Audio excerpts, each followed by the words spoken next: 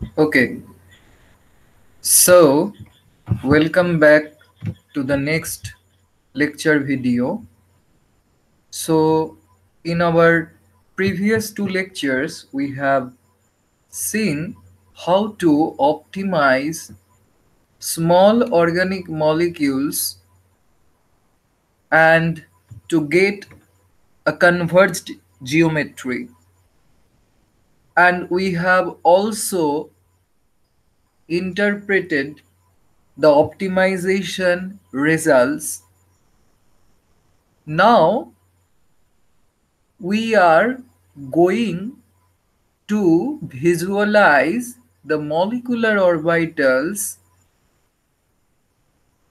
by using the checkpoint file but we have to remember that the checkpoint file with extension .chk can't be read in many systems. That's why we need to use the formatted checkpoint file with extension dot fch as you can see here it might also have the extension with dot fchk here you can see. So this is actually your formatted checkpoint file which you can make by giving appropriate command. So now let's see how to visualize the MO. For this we need the GaussView software and then we have to open this formatted checkpoint file. While opening this formatted checkpoint file, please ensure that the files of type should be Gaussian files with extension .gjf, .com, .log, .out, .fch, .chk, .gfrq, etc. And your read intermediate geometries optimization should be unchecked this time. So that once you open this formatted checkpoint file you open with the final geometry.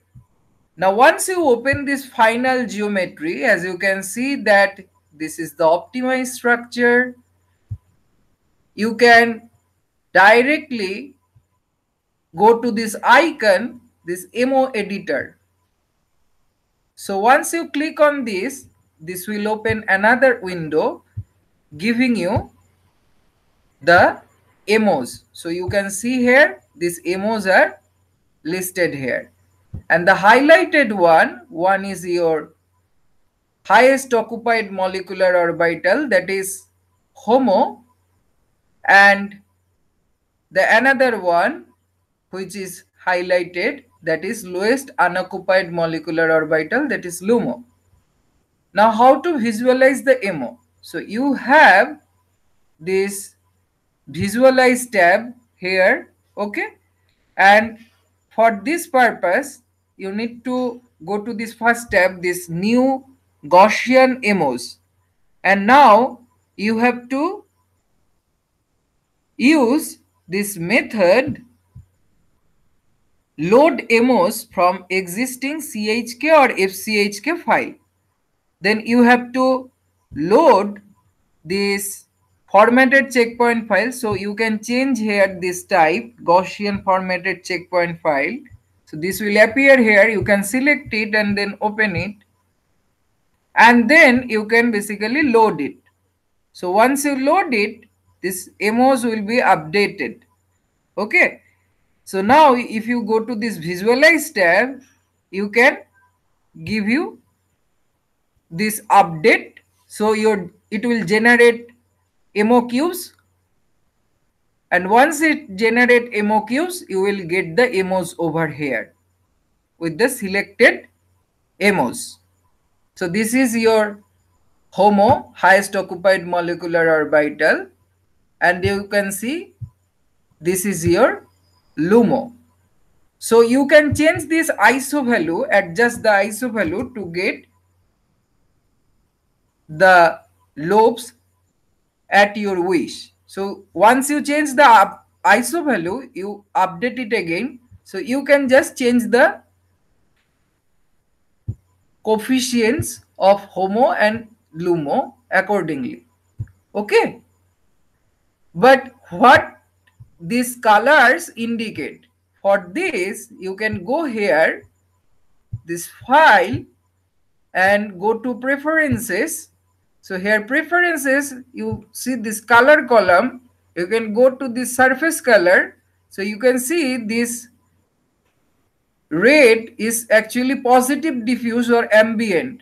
And if you go here, it will see you this uh, green one is your negative diffuse ambient. So this is actually default settings. You can also change the color. So here we have learned how to visualize the HOMO and LUMO and you can see also these values. So this is the energy of the HOMO and this is the energy of the LUMO in Hartree. You can convert it into electron volt by multiplying it with 27.212. So that will give you the values of energies of HOMO and LUMO in electron volt. Okay, that's all. Thanks for watching.